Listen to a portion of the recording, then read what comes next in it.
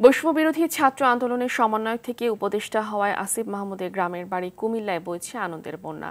যুব ও ক্রীড়া মন্ত্রণালয়ের দায়িত্ব পাওয়ায় গ্রামে চলছে মিষ্টি বিতরণ। আসিফের বাড়িতে ভিড় করছেন শত শত মানুষ। কুমিল্লা থেকে আবুল খায়ের প্রতিবেদন জানাচ্ছেন জুবায়ের রাজিন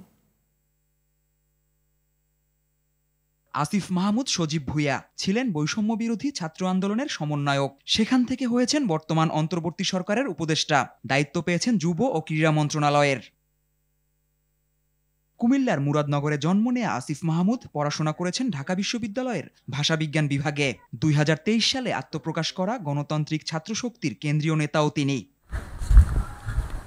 সম্প্রতি কোটা সংস্কার আন্দোলনের শুরু থেকেই সক্রিয় ছিলেন আসিফ। তার উপর নেমে এসেছিল নির্যাতনের খড়গ। ছয় দিন ছিলেন ডিবির রিমান্ডে। নানা চড়াই উতরাই পেরিয়ে অবশেষে সফল হয়েছেন এ তরুণ।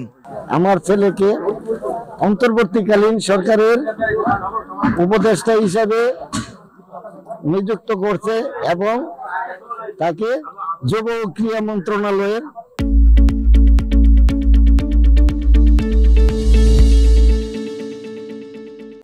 দায়িত্ব দিছে। আমি এটাই এক কামনা করব যাতে আমার ছেলের উপর দায়িত্ব এবং কর্তব্য সে যেন নিষ্ঠার সাথে এবং সততার সাথে পালন করতে পারে? অনেক বেশি ভালো লাগতেছে, কারণ আমরা জানতাম না যে, এই যে একজন উপদেষ্টা হবে।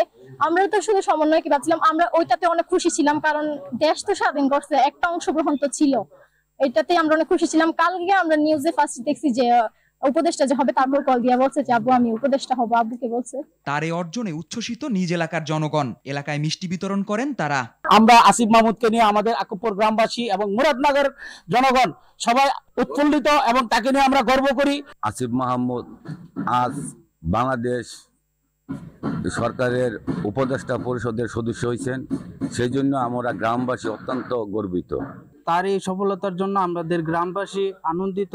বর্তমানে যে তরুণ সমাজ আহ, তারা তার থেকে অনেক অনুপ্রাণিত হবে। অন্যায়ের বিরুদ্ধে সবসময় কথা বলতো। দেশের প্রতিটি এলাকায় এমন সন্তান গড়ে উঠুক এমনটাই প্রত্যাশা এলাকাবাসীর। Zubair Rajin R TV.